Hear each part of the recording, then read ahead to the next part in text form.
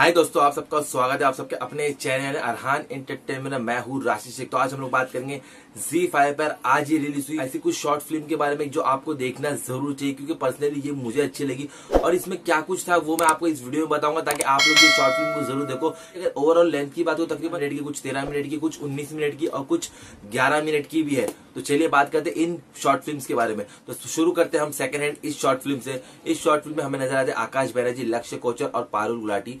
इस short film की कहानी शुरू होती है सुनील से, जिसकी शादी होती है ब्यूटी से। अब मैं आपको बता दूँ, सुनील की यहाँ पर दूसरी शादी है तो इस वजह से शादी होने के बाद उनकी लाइफ में क्या ट्विस्ट एंड टर्न्स आते हैं और इस शॉर्ट फ़िल्म के थ्रू डायरेक्टर क्या मैसेज देना चाहते हैं, ये सब कुछ देखने के लिए आपको ये शॉर्ट फ़िल्म देखनी पड़ेगी, जिसकी लेंथ सिर्फ़ तेरह मिनट की है। अब मैं आपको बात करता हूँ कि ये शॉर्ट फ़िल्म देख मुझे कैसा लगा। तो देखिए शॉर्ट फ़िल्म में जिस तरीके से एक्टर्स ने परफॉर्मेंस किया और जिस तरह से डायरेक्टर जो मैसेज देना चाहता है, वो मैसेज मोस्टली जितने भी मैरिड कपल्स है, उनके बीच में कभी ना कभी वो चीज़ आती ज़रूर है। और वो चीज़ आने के बाद उनकी लाइफ किस तरह से बदलती बेसिकली ये शॉर्ट फ़िल्म हमें वही बताया जो कि मुझे पर्सनली बहुत अच्छा लगा और आपको डेफिनेटली ये शॉर्ट फ़िल्म देखनी चाहिए। जो लोग मैरिड है, उनको तो ज़रूर देखना चाहिए और जो लोग मैरिड नहीं है, जो लोग किसी रिलेशनशिप में तो उनको भी ये शॉर्ट फ़िल्म देखना चाहिए। हालाँकि परफॉर्मेंस की बात करो तो सभी का परफॉर्मेंस मुझे ठीक ठाक लगा। पारुल गुलाटी हो या अभिषेक बैनर्जी हो या लक्ष्य कोचर हो सबका परफॉर्मेंस जितना था, उन्होंने बहुत ही शानदार किया। अब हम लोग बात करें दूसरी शॉर्ट फ़िल्म का, जिसका नाम है बूम बूम अब इस शॉर्ट फ़िल्म में हमें नज़र आते मंजू सिंह और रिया चक्रवर्ती। अगर आपने इसका ट्रेलर देखा होगा तो ट्रेलर में हमें बताता है कि एडिट कपल जिनकी फ़र्स्ट नाइट है। अब फ़र्स्ट नाइट में आप लोग को लगता होगा यार फ़र्स्ट नाइट में क्या होता है?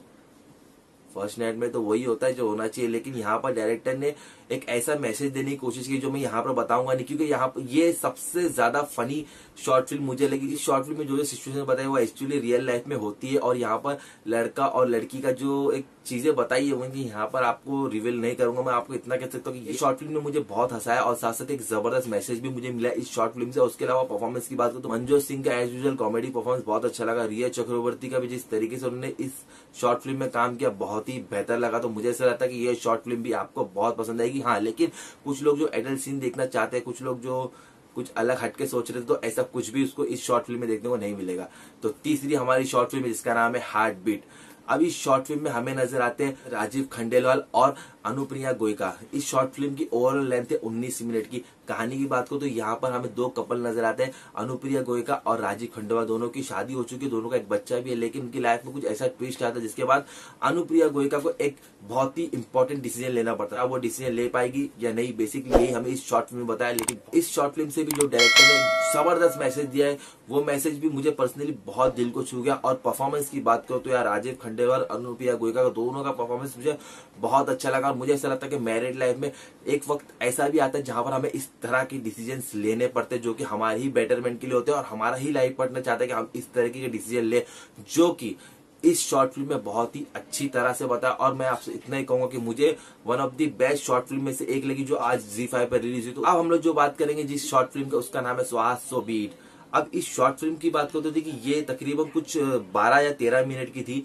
इसमें भी डायरेक्टर साहब ने एक ज़बरदस्त मैसेज दिया। वो मैसेज हर लड़की की ज़िंदगी में आता है।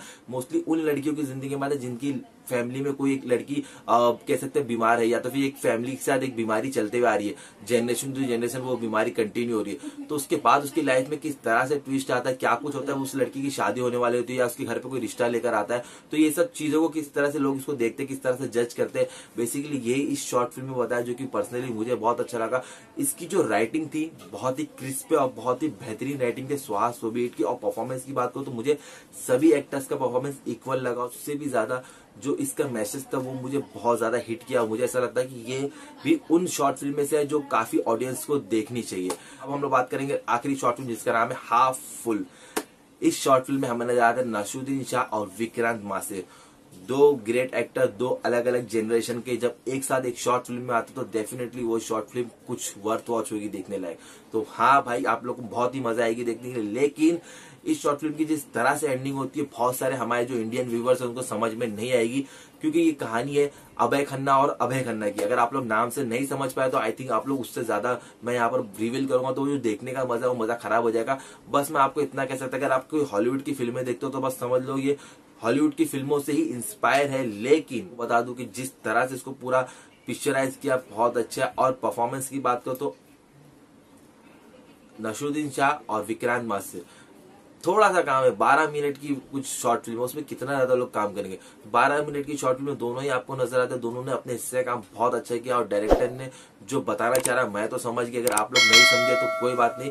तो बस यार इस वीडियो में इतना ही, मुझे पर्सनली ये पाँचों शॉर्ट फ़िल्म बहुत अच्छी लगी, मैं आपको एक चीज़ बताना चाहूँगा कि जितनी भी शॉर्ट फ़िल्म होती है शॉर्ट फ़िल्म बहुत ही ज़्यादा डिफ़िकल्ट है, क्योंकि उनके पास 12 मिनट 15 मिनट 20 मिनट होते हैं।